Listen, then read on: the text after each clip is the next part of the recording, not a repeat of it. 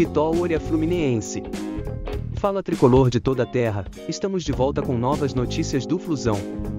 Já deixa seu like, se inscreva no canal e ativa o sininho para ficar por dentro de tudo que acontece no tricolor das Laranjeiras.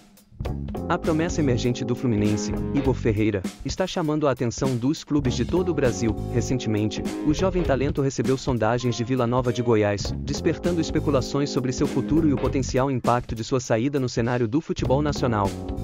Igor Ferreira, um produto da prolífica base do Fluminense, tem sido uma das estrelas na ascensão do clube carioca.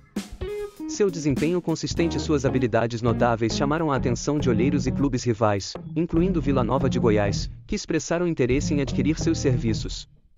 Para Igor Ferreira, essas sondagens representam um reconhecimento de seu talento e uma oportunidade de explorar novos horizontes em sua carreira. Embora sua lealdade ao Fluminense seja inegável, a perspectiva de jogar regularmente em um clube da Série B pode ser uma oferta deliciosa para um jovem jogador em busca de mais oportunidades de jogo e destaque. O que achou da notícia torcida tricolor?